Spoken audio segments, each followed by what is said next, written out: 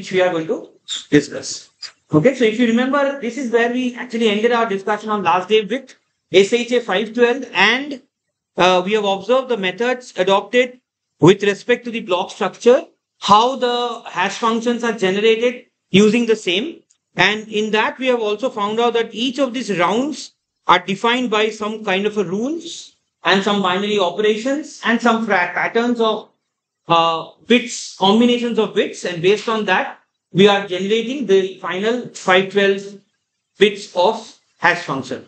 In the same manner, we have found out that there is another methods method which we call as the whirlpool technique. In that, we have also observed that it is very similar to what the AES was, except that it uses a specific set of element or specific set of uh, sub bytes, or rather, I would say state matrix, which is 8 cross 8 bytes okay, instead of the 4 cross 4 in case of the normal AES. And that's why we are calling this as a modified AES. Along with that, the number of bit durations are also different, which is apparently visible from this particular slide. Alright, as well as you can observe the similarity that 10 rounds are also over here. And each of the rounds will also undergo certain parameters or certain transformation. For example, there will be sub bytes. There will be sub bytes and there will be something called as shift column instead of shift rows. And we have mixed rows instead of mixed column. And finally we have add round keys. All right so they are very similar looking at that of AES and in fact the process adopted is also absolutely similar. For example this is this was my sub bytes table which will be read in the same manner as that of the previous one the shift column will be a process in which we will shift based on the number of columns which particular column we are in and based on that, either zero rotation, zero uh, shifting or seven shift bit shifting. That is a maximum that is possible based on each and every column. And also mixed rows is also same principle based on the template. We will go on multiplying each row with the column matrix. And finally, we came up with the add expansion or the add expansion of the uh, key expansion strategy rather. And in add round key, the only difference compared to the previous one was that here the keys are generated by the method itself using a constant which will be there for each and every round, 10 rounds. So RC1 is that constant which you can observe over here. RC1 is the RC1 is the uh, element over here which is a constant. But again, the individual round will be almost similar to that of the main rounds. Okay, so that means that you can observe the round, whatever is there in round one, unlike to AES, the key generation or the key expansion strategy is somewhat different compared to the previous one, but it is very simple because in this case, a certain rule is adopted in which it is told that the first row will be a non-zero element, which will be again filled up by the sub-byte table, which was not there in AES, and the rest of the bits will be filled by all zero elements. So that is what the idea is. So its detection of this is relatively simple, I feel, compared to the add row process, which uh, add round key process, which was there in AES. Now, keeping that in mind, we now move on to message authentication code. This also we started off. So let us start off with this message authentication code again. So in that, what I mean is, we, again, I told you that the, the example will give you a better idea that if suppose Alice needs to provide the proof that it is Alice sending the message and not an intruder. That is the basic objective behind the math. Okay, it's that's why it is called method, message authentication code. It means that we know that the message has been received at the receiver and we can understand from the process that if the hash function is present over there, we can understand that the message is encap encapsulated by some means. But now, how to determine that the same user has actually sent the message? You will soon find, in fact, today only we are going to start off with that, that there is not only this, but we will also require something called as digital signature on top of the message authentication code that will make the user to be secure. I am sending you a message. How will you know that I am sending you a message? There must be some signature that is there from my side that will prompt you that yes, that has been sent from a particular user. So that is basically the purpose of this message authentication code. And in that, we have found out that usually this is the generic process that we are adopting for uh, a message authentication code. That means we have a message and we have a hash function which we all know Now, along with that, there will be another set of operations that will go through where we will append, basically we are going to append, it can be prefixed or postfixed, some amount of bits which will hold the identity of the user. Simple as that. And that particular bit will indicate some of the identity of the user. You will find in digital signature, the next one that I told you, along with that identity of the user, there will be a signature per user. Just like we will sign a document, digital signature also provides some kind of a signature that I am signing the document. Alright, so that is like a dual kind of a security that we are providing to the set of information. So signature I will come back later, but this is we observe that the message actually the, the, the logic is that we are going to have a scenario like this, that with the message and the hash function, we are going to use some kind of a key. And this key is not the encryption key. It may be an encryption key, but it is not always the encryption key. And in that way, what we are trying to do, we are generating an M plus MAC. Okay. And if you observe this MAC is a attribute that is generated post the hash function over here. So post the hash function, whatever the image digest, message digest you are getting, on top of it, the MAC is working. And finally, this M plus MAC is sent through insecure channel. And that is an advantage because we are excluding the effect of uh, purely an idealistic scenario where there is a, uh, a scenario of this nature. Like channel, you consider this one, channel immune to change, which is purely hypothetical. There is no channel which is immune to change. So we are eliminating that concept by using this MAC. And if you observe that at the receiver, when we when the data is received, there is a process in which the M MAC, M plus MAC from that, the message is segregated out and the MAC is again authenticated over here. You can see the MAC is authenticated. Just like we have done for the hash. So in that pattern, we will find out that whether the MAC is also correct. You will also find that soon we will see that whether the digital signatures are also correct then we will also check the hash function is also correct because the cryptographic hash function also indicate. So basically there are three ways in which we are trying to encapsulate the identity of the user as well as the message. Forget about the encryption part itself. That's a separate part itself. Okay, so just the user, the sender, transmitter and the receiver needs to be integrated. The, the identity of the user and the authenticity of the user, the integrity of the user are maintained by these processes.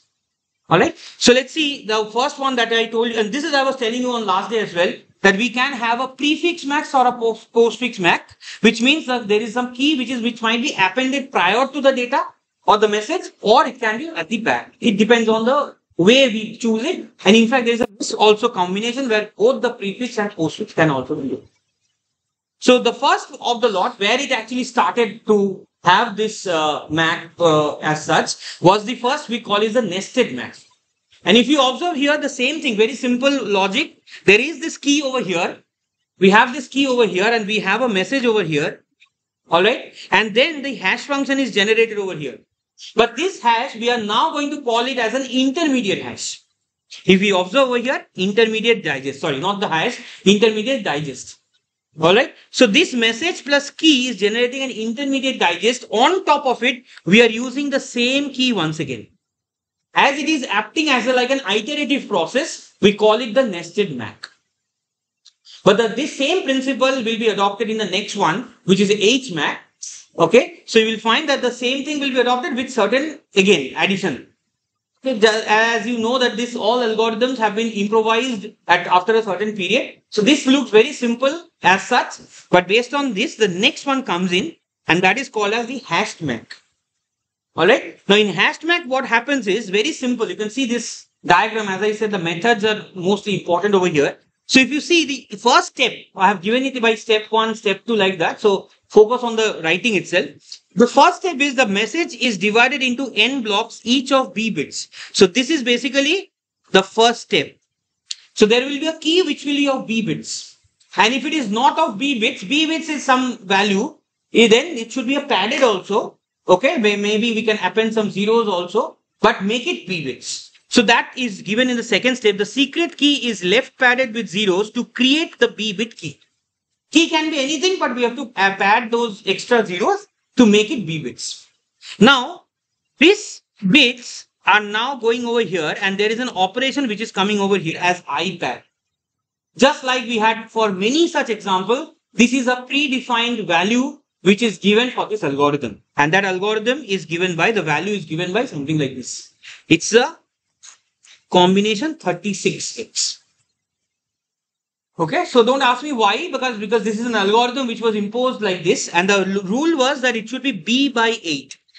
Okay, that was the rule. The b is the number of total number of bits. So that bits divided by 8, that will be the number of elements which should be present over here. This is just an example which is given. So this is given by the IPAD. So the third step is the result of the earlier step is XORed with a constant called IPAD, input pad we call it, to create a B block again.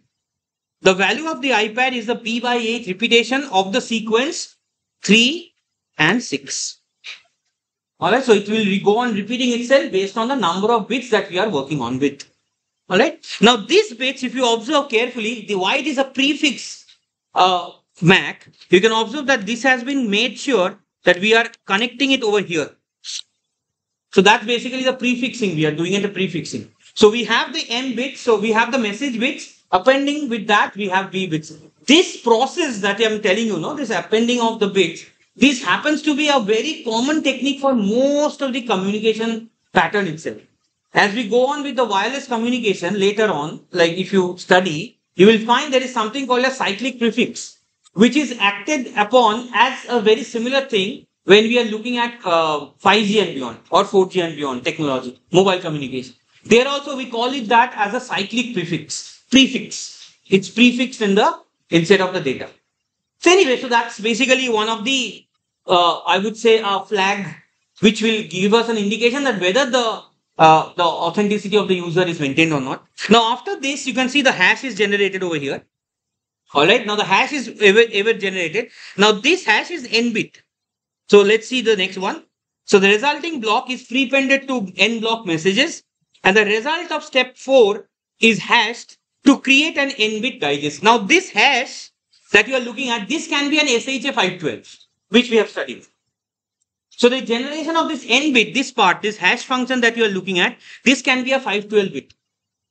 Alright. Now based on that, you can see that the intermediate HMAC is generated. So the same intermediate HMAC that I told you in the previous case for the nested one, the same thing is happening over here. So this is my intermediate intermediate hash. You can see the step 5 I mentioned. Now that hash along with the next set of padded bits and output pad is XORed once again. So you can see there is a pattern of it as well. So you can see this pattern. If the pattern over here is 0, 1, 0, 1 and 1, 1, 0, 0. Now this is a fixed value. Again, you can see B by 8 repetition. So the output pad is of 5C, 5C and the input pad will be 3636 like that repeating. So this gets XORed and you can get a new element, new intermediate value which is B bits and B bits. So we have the portion which is there before the MAC and there is a portion which is there for the message with hash function. And finally, you can see again the hash is used over here. Another hash is generated. So two types the hash is generated. So making it more random in a way. Okay. Difficult to interpret the data. And finally, we are generating the MAC over here at the final stage. So again, just to repeat why we are trying to do this, because we are, we already know how the cryptographic hash function works. We know that the message should go through a hash function and it should generate a digest. But as we don't know about whether the message has been sent from the proper user, we need to authenticate the user by using this MAC. Where this MAC is a kind of a signature, you can say. It's not exactly, but for colloquial language, let us understand in that way that MAC is some kind of a uh, identity. It's kind of a signature. It's kind of a stamp. It's like a stamp from a particular user, which will be appended with the message digest, and that will be sent over through the insecure channel. And at the receiver, there will be a comparison that will be made with the existing MAC and the received MAC. And if both the MAC is matching, then we will say that the, yes, the data has been sent from the correct user. Then we will again authenticate the MAC itself, like MAC, uh, the HMAC itself, uh, uh, not the MAC, the uh, hash itself. And we will also check that hash also that whether the hash is correct or not. Whether the hash got someone, the intruder might have changed the hash itself, which is barely uh, not possible. But even if that happens, so all those checking will happen at the receiver. All right. So this is basically what the hashed MAC is all about. Similarly, similarly, this is given actually the same thing, which I can opt out.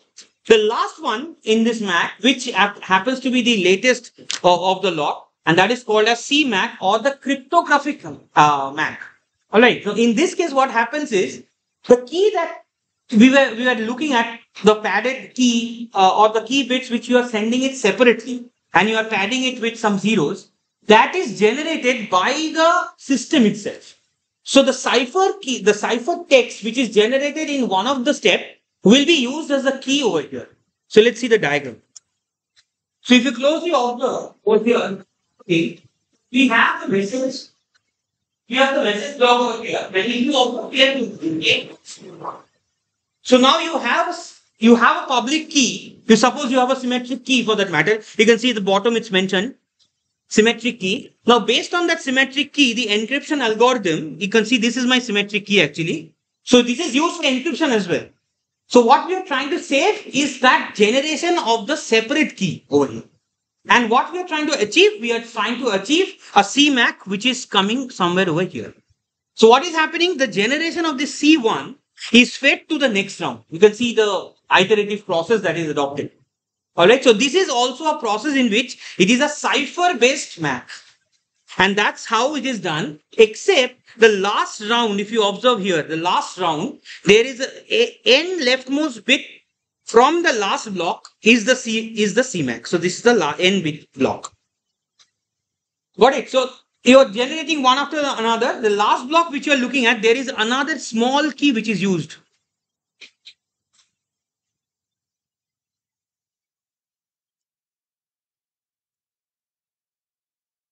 A small key which is used over here. Alright, so if you observe carefully, this small k, that is a separate key itself. And that key generation is given at the bottom, which is over here. Alright, now how it is generated? Very simple. Again, very simple this part. So let me show you the next slide, which will be easy. So what happens over here, you can see that if this is, I'm talking about the last this is small k. Okay, the capital K is for the encryption key itself. The small key is generated by the process and we have capital key which is the encryption algorithm along with the message and there is a multiply by x or x squared. Now x and x square I have already mentioned over there. If the padding is used, you can see over here, if padding is used over here in the message somehow, then we will use, you can see multiplied by x if no padding and multiplied by x square if padding. What does that mean? If you check here, I have written it down. For this one, multiplied by x, x will be given by n minus 2 zeros followed by 1 0. So there will be n minus 2. n is the number of bits of the uh, CMAC, the total duration. Suppose there are, the, the, the total duration is 128 bits, for example. So 128 bit minus 2. So 126 zeros followed by 1 0. That will be the x. That should be multiplied to the n bit that is there. Along with that, you can see the next one, which is x square. If padding is used, then it is n minus 3 number of zeros followed by 1 0 0. So you can see this 1, this 1 0 and this 1 0 0, these all are given from the Galois field, which we don't need that.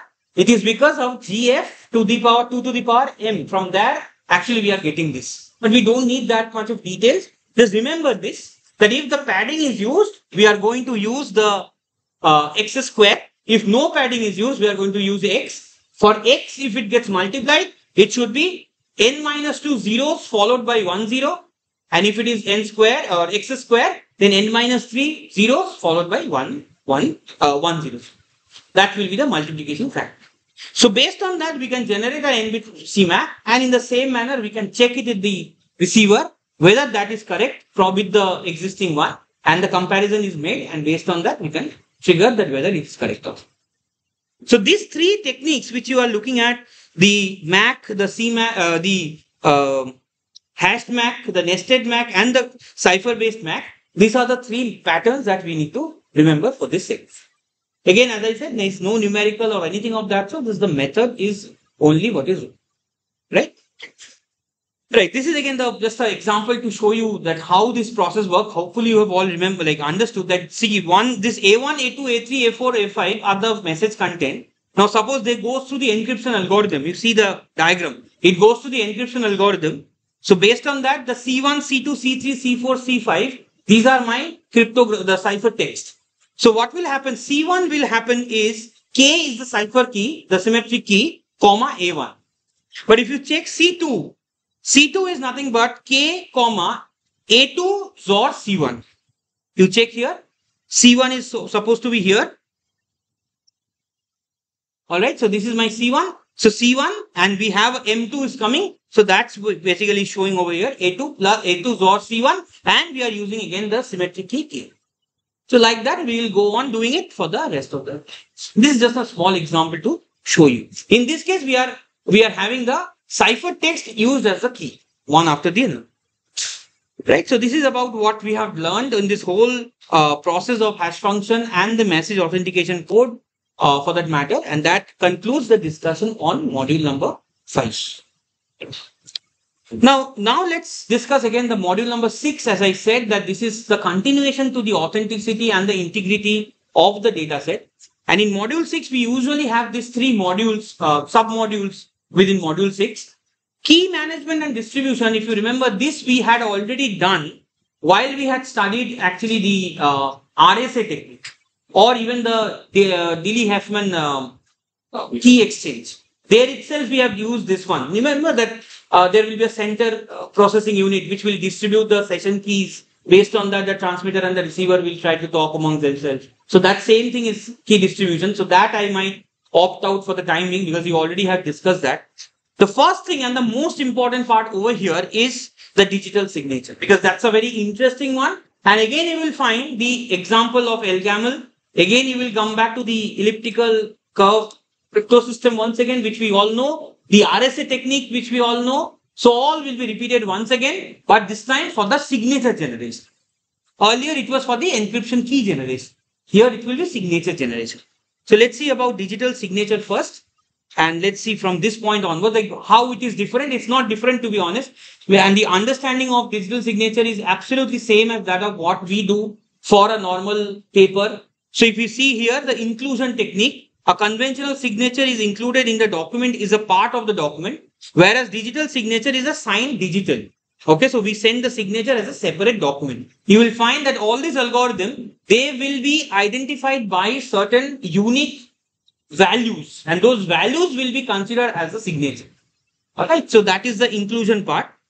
The verification method, the conventional signature, when the recipient receives the document, he or she compares the signature on the document with the signature on file just to match whether the file, uh, whether the signature matches. Just like we do it in bank and all. We'll sign it and we'll see that whether it is matching or not. But here for digital signature, the recipient receives the message and the signature. The recipient needs to apply a verification technique. This is where the ElGamal technique, the RSA techniques and all will be applied to detect whether the signature which was sent from the transmitter has been received at the receiver or not. Very simple. You just see this. It's very simple. That's why I'm telling you this cap 2 portion, try not to leave any questions out of it. these are very simple and methods. That is what you are supposed to write. When we have relationship also, there's another way. That relationship is that conventional signature when we do it in the pen and paper, that is normally one to many. Okay. So that's the relationship that we have. We are signing it for many such documents, the same signature. But in case of digital signature, that is one to one. Per message, whatever we are sending, we will have a unique signature of it. You will soon find because the algorithm that we are going to test out, all the techniques, all the values will be governed by certain message which will go on changing.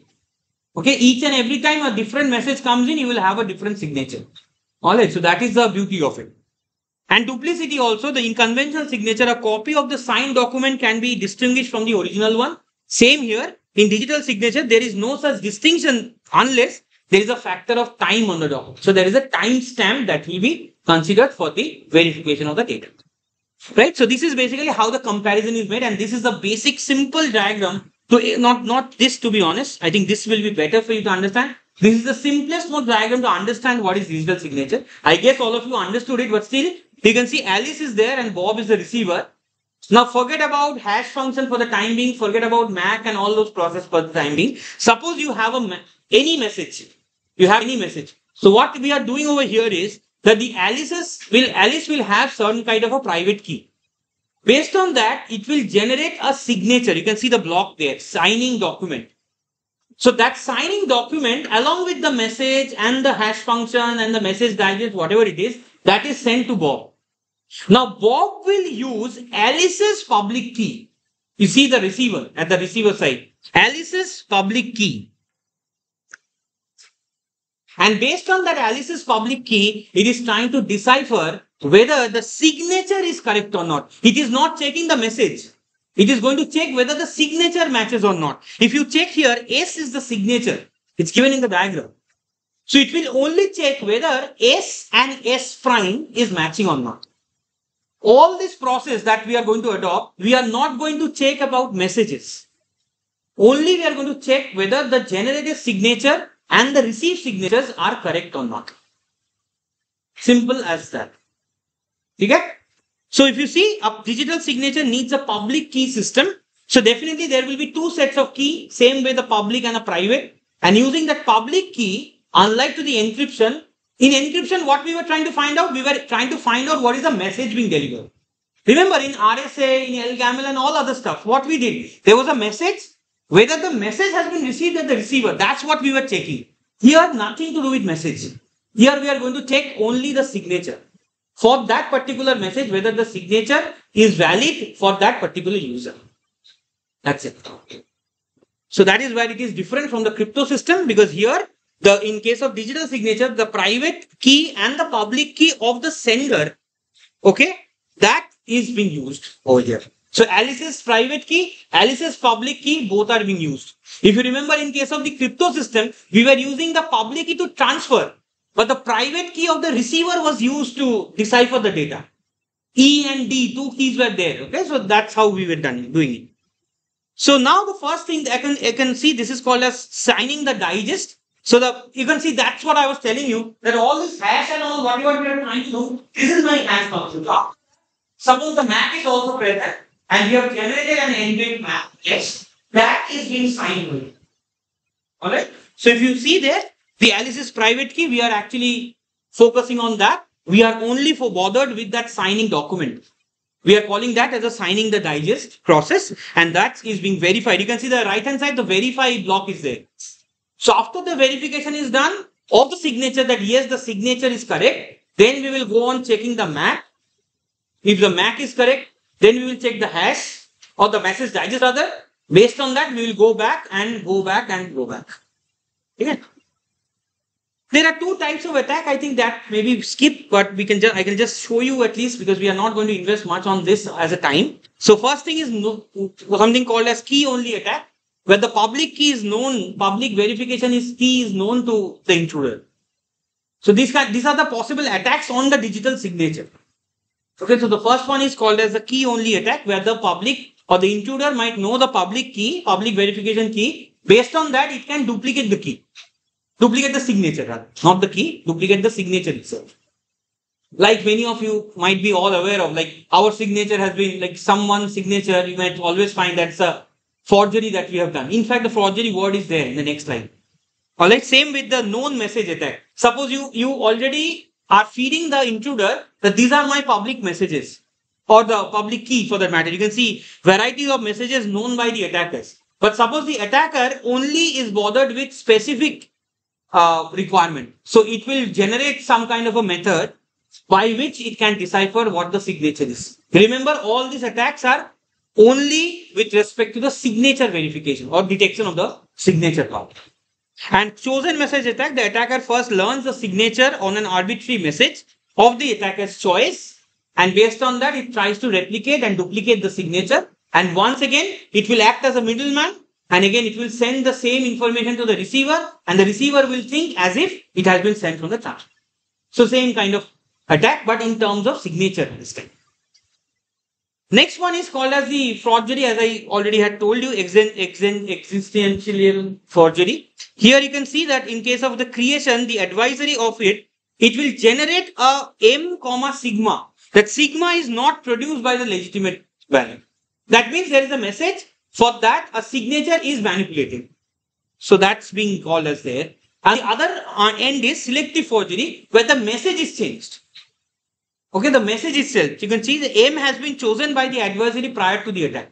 And he has changed the message itself. Let the signature be as it is, it changes the message itself. That's also kind of an attack itself. Where you are signing a document, suppose you are given a blank paper and you sign it. So the sign is authentic, but the content of it is written by someone else. Can you imagine the scenario? The same scenario is this. You have given a blank check. Suppose you have signed. Someone put some value and it will be proven that you have signed the document and hence that amount of money is to be debited from your account. Same forgery. So that kind of thing is called as selective forgery. If the message is converted or message is fraud, but the signature is authentic. You can see the delta is the signature here indicating, right? So based on that, there are certain techniques. As you can see, some of the known, some of the new, uh, the known names which you can observe over there. RSA, ElGamal, all are known to us. Even digital, uh, elliptical curve digital signature is also known to us. So let us go one by one to understand the technique. Again, not much of numericals over here. First thing is the RSA. RSA, as we know from the crypto system, same thing adopted over here as well. If you see over here, the message is there, M.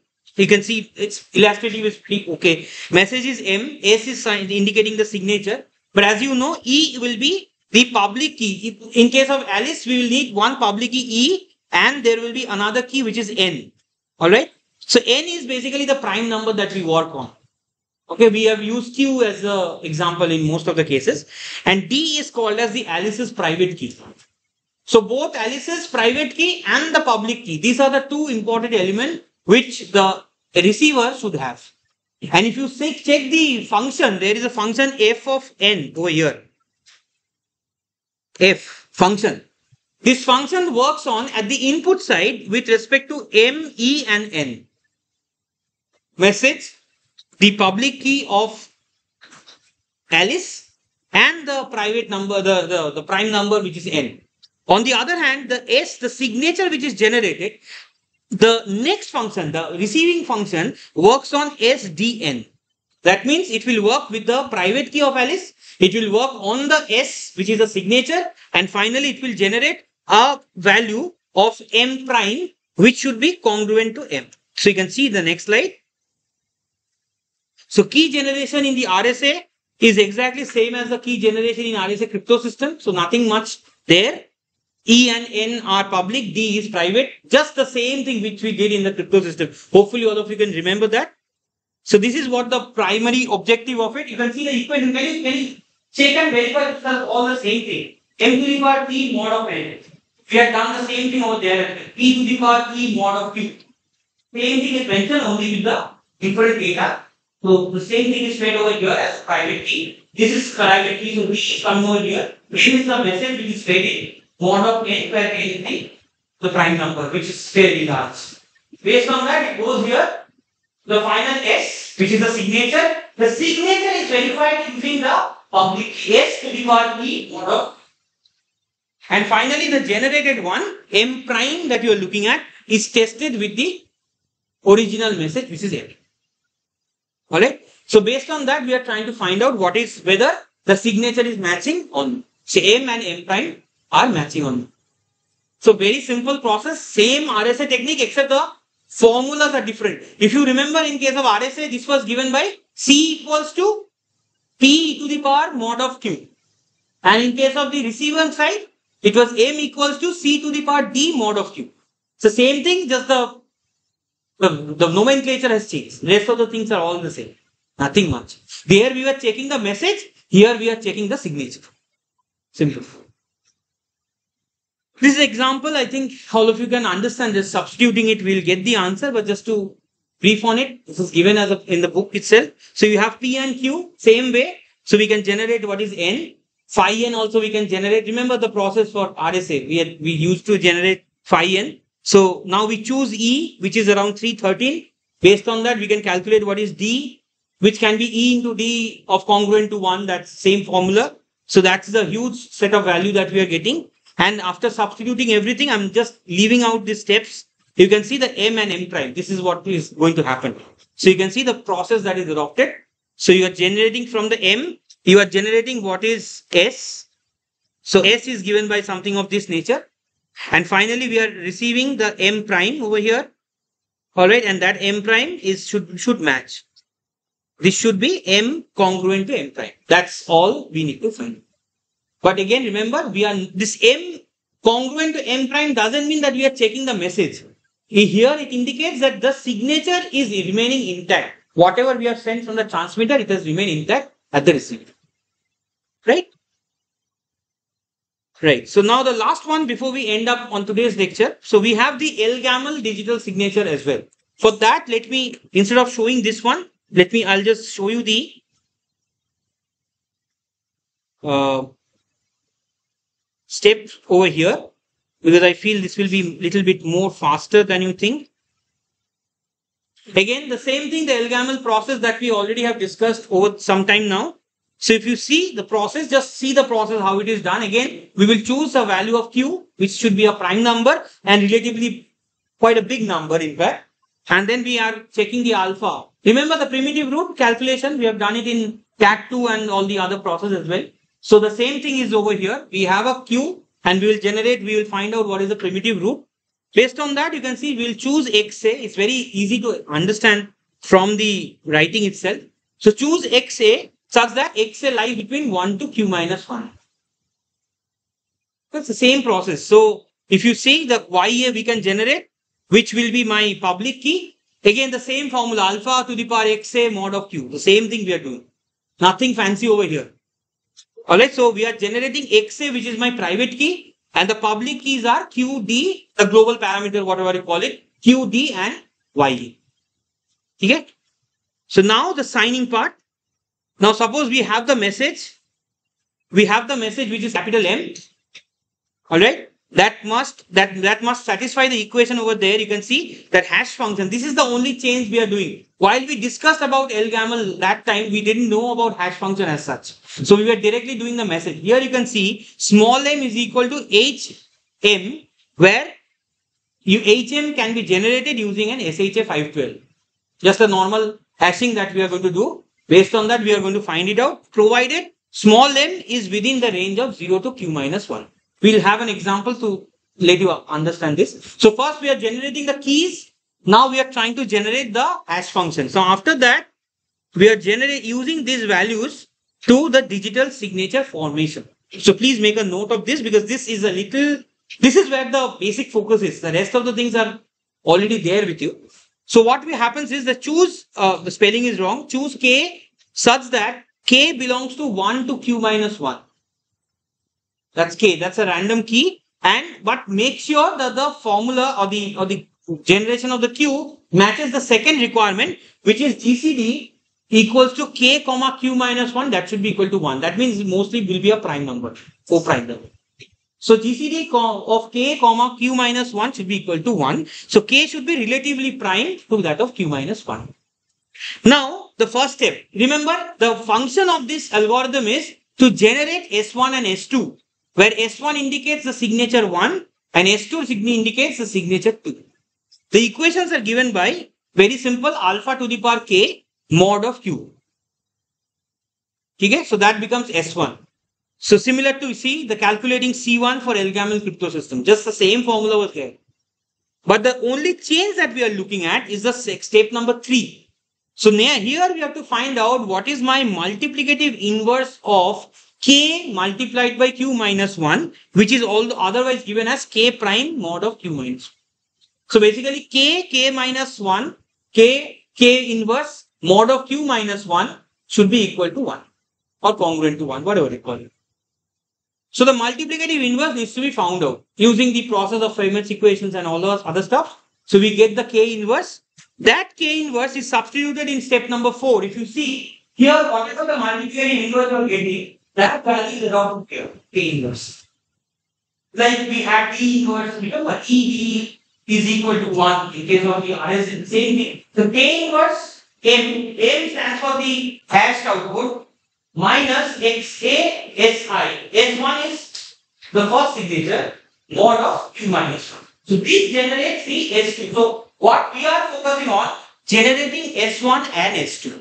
So S1 is pretty relatively simple. Straightforward. For S2, you require K inverse, which is a multiplicative inverse calculation, and the calculation involves the generated S1 to be used over here. So now the you can see the last line, the signature thus consists of pair S1 and S2. We are only bothered with S1 and S2. We are not bothered with the message right now. Now, if you observe at the receiver side, very simple process. Again, two equations are used. One is V1 and the other one is V2. What is V1? V1 is alpha primitive root to the power M. M is the message, hashed message, mod of Q. And V2 is YA to the power S1. So you can see over here you will require at the receiver S1 and S2. Both you require.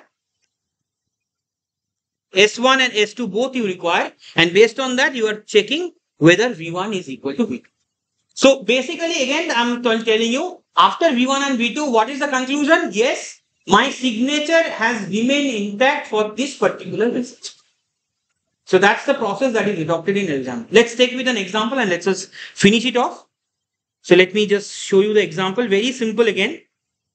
So suppose I have the example where Q equals to 19 right? So Q equal to 19 and 19 will have as we already know from our previous experience that we have number of primitive roots and you know the process of calculating the primitive roots. So 2, 3, 10, 14 and 15 are the primitive roots. From there, suppose we choose alpha as 10.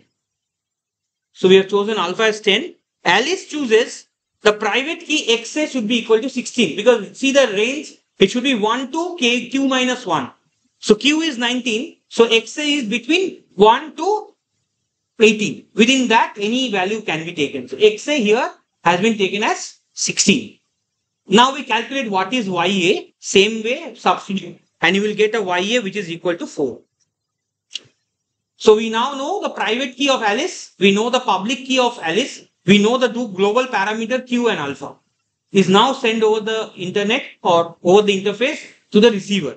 Before sending it, what Alice does, it generates the key for the signature. For that, it chooses small k equals to k5. Again, another random value based on the range. Check, please check this examples, okay? Now, S1 is generated pretty simply, alpha to the power k mod of q. So, uh, here message is, message is considered to be, you can see 14. This 14 that you are looking at, this is not the message. This is the hashed message or the message digest you can say it will be provided to you if it is provided, it, like it should always be provided because no time will be there to generate a hash function to generate the final message. So ideally, whenever the message you will observe that message which is a hashed message, please make a note of this. If question comes in from the digital signature part, your message is basically if if we mention that the message is given by this, so the message will be should be considered as the hashed message itself. Okay, so that is my 14 over here and you generate K inverse, which is 11, and you substitute in S2, and you generate S1 and S2 as 11, comma 4. Please check here. 11, comma 4.